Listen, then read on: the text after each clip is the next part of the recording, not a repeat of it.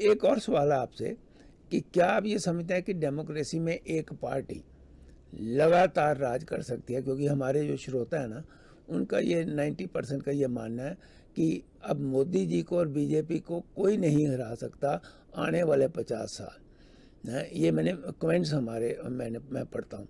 क्या मैंने आगे भी ये एक बार आप, आपके साथ या किसी और के साथ प्रोग्राम किया था कि डेमोक्रेसी जो है उसमें change is the main word क्योंकि अपोजिशन पार्टियाँ या आपस में इकट्ठी हों, चाहे ना हों अल्टरनेटिव मिले, चाहे ना मिले, लेकिन एक पार्टी लगातार राज नहीं कर सकती ultimately people will always change आपका इसके बारे में क्या ख्याल है?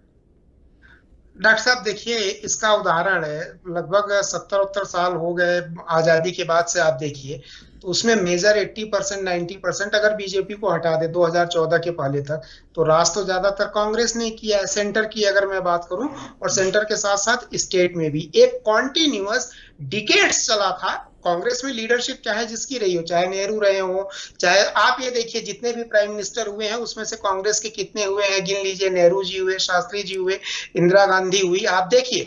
तो आप इसको ऐसे मत देखिए कि 10 साल 20 साल या 5 साल तक एक लंबे समय तक ओवर द डिकेट्स 20 साल 30 साल डेफिनेटली ये तो भारत में इतिहास रहा है कांग्रेस ने राज किया है। सबसे बड़ा फैक्टर ये होता है कोई पार्टी तब तक जीवंत रहती है तब तक सत्ता में बन, बनी रहती है जब तक कि वो अपने आप को पब्लिक के साथ कनेक्ट करके रखती है। रही बात जो आपने ये बोला कि मोदी जी मोदी जी तो नहीं लेकिन आप ये बोलिए कि हाँ बीजेपी अगले 25-30 सालों तक। उसके लिए मैं आपको बोलता हूँ कि अगर विपक्ष के सारी पार्टियों की हालत यही रही और मुझे बोलना नहीं चाहिए लोग विपक्ष के लोग नाराज़ होंगे। इस ये सच है। आप जो कह रहे हैं ये सच है कि अगर वो इकट्ठे नहीं, नहीं होंगे तो देर नो मैं एग्जांपल देता हूँ।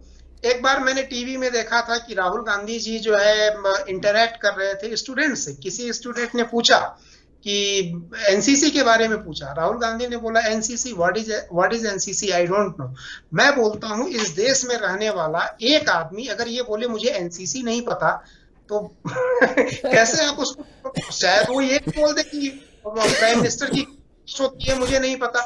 मैं आपको दो तीन एग्ज़ाम्पल इसको क्लेरिफाई करके देता हूँ। देखिए, भारत की जो डाइवर्सिटी है, अगर आपको पॉपुलिस्ट लीडर बनना है, हर दिल पे राज करना है तो आपको पता होना चाहिए नलकूप क्या होता है, नलके क्या होते हैं, छोले भटूरे क्या होती हैं, गली चौबारे, ये सब क्या होते हैं? इन लोगों को ये पता ही नहीं है। विपक्ष की पार्टी के जो अभी करंट जनरेशन जो लीडरशिप है, मैं आपको बताऊँ, राहुल गांधी और ये सब, ये दुनिया के सबसे बड़ी कंपनी के बेहतरीन सीईओ तो हो सकते हैं। इंक्लूडिंग अखिलेश यादव और इन सब की अगर मैं बात करूँ। नहीं सीओ भी नहीं हो सकते। ये ये सीओ भी उस कंपनी को खत्म कर देंगे क्योंकि जब जो अपनी पार्टी को खत्म कर रहे हैं तो वो सीओ वो, कंपनी क्या चलाएगी? बता रहा हूँ पॉलिटिकल पार्टी और प्राइवेट कंपनी में बहुत फ़र्क है। हाँ। चलिए हम इस पर बाद में करेंगे। ये एक पॉलिटिकल पार्टी के या इलेक्शन कमीशन के थ्रू जीतने वाले लीडर नहीं हो सकते हैं। उसके पीछे कारण है। कारण ये है कि एक काले रंग का जो है इसका जो है बछड़ा और एक सफ़ेद रंग का बछड़ा दोनों साथ खड़े थे। अब एक नेता थे सेकेंड जनरेशन के फॉरेन के पढ़े हुए तो वो काले रंग के गाय के बछड़े को बोलते हैं, ये भैंस का बच्चा है, पाड़ा, पड़वा हम लोग बोलते हैं। और सफ़ेद वाले का जो है, वो बोलते हैं, ये गाय का बछड़ा है।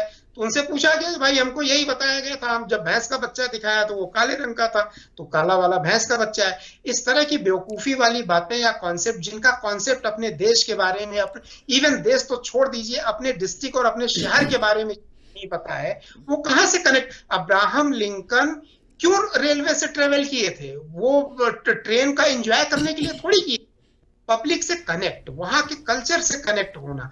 ये लोग नहीं सेकंड जनरेशन की सबसे बड़ी प्रॉब्लम ये है कि इनकी पूरी अपब्रिंगिंग इंग्लिश मीडियम से हुई है, बाहर पढ़े हैं। देश के इतिहास को, देश की चीज़ों को, देश के कल्चर को ये जानते ही नहीं है। ऐसे ऐसे आंसर ये दे देते हैं छोटी छोटी चीज़ों पे। देश के कल्चर से रिलेटेड जब होते हैं कि अब उसको क्या बताया? तो पब्लिक पब, देखिए पब्लिक का एक परसेप्शन होता है। पब्लिक एक परसेप्ट करती है कि हमारा लीडर कैसा होना चाहिए। पब्लिक के दिमाग में एक इमेज होती है।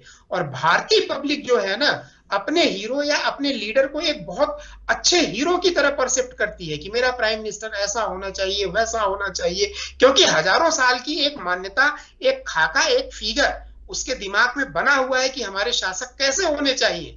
तो वो चीज़ें तो डेवलप होती नहीं है यहाँ पे, उनको पता ही नहीं होता। है इनफैक्ट उनकी अपब्रिंगिंग ही ऐसी नहीं है। ना घर में हुई है, ना दादा दादी, ना नाना नानी, ना स्कूल में वीवीआईपी ट्रीटमेंट मिलता है। सड़कों पे ये कभी जाते नहीं है, चाहे सुरक्षा का कारण हो, चाहे लिविंग स्टैंडर्ड का कारण हो। तो गली चौराहे और ये मार्केट फार्केट जो बाज़ार, हाट, ये सब पता तो होता नहीं है। तो सबसे बड़ी प्रॉब्लम है, ये कभी भी पब्लिक के साथ कनेक्ट कर ही नहीं पाते हैं। और जो पब्लिक के साथ कनेक्ट नहीं कर पाता है सेंटिमेंटली वो लीडर नहीं बन सकता है। एक्सीडेंटल लीडर यहाँ पे बन जाते हैं। इंद्र कुमार गुजराल, इसके बेस्ट एग्ज़ाम्पल है। एक्सीडेंटल प्राइम मिनिस्टर बने हुए हैं। देवगौड़ा साहब इसके एग्ज़ाम्पल है। एक्सीडेंटल प्राइम मिनिस्टर बने हुए हैं। मजबूरी और वक्त की मेहरबानी ऐसी हुई कि वो बन गए। वो एक डिफरेंट चीज़ है। लेकिन इलेक्टोरल वे में जाकर के जहाँ पे देखा जाए तो वहाँ पे नहीं बन पाएँगे ये लोग।